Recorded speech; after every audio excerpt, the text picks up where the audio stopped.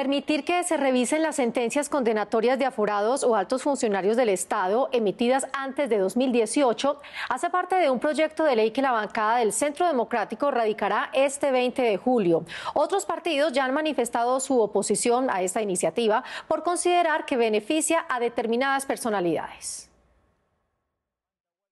El proyecto de ley serviría para que aquellos altos funcionarios del Estado que no tuvieron el derecho a apelar sus condenas penales tengan esta posibilidad de hacerlo a través de una doble instancia que sería retroactiva. Como lo dice el principio de favorabilidad en materia penal, que este derecho le aplica también a esos ciudadanos.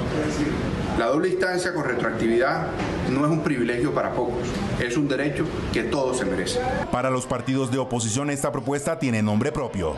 La gente tiene derecho a una doble instancia, pero la ley rige hacia el futuro. La retroactividad que pretenden acá es un premio a la impunidad. Expertos constitucionalistas han advertido de las demandas al Estado que esta iniciativa podría desencadenar. Sin embargo, las eventuales revisiones a estas decisiones judiciales ya tomadas no suponen únicamente beneficios para los ya sentenciados. Puede haber que se confirme la sanción, que se modifique, nunca subiéndola, porque hay una garantía para el apelante único de que no se le puede agravar la pena, o sea, podría confirmarse, rebajarse o revocarse.